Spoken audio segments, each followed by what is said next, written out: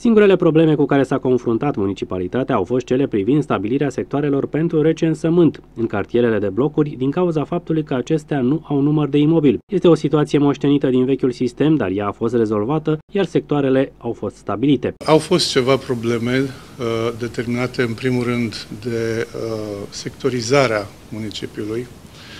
După cum uh, este cunoscut, noi am uh, moștenit o tramă stradală, în special în zona de blocuri, unde numerotarea clădirilor nu este realizată.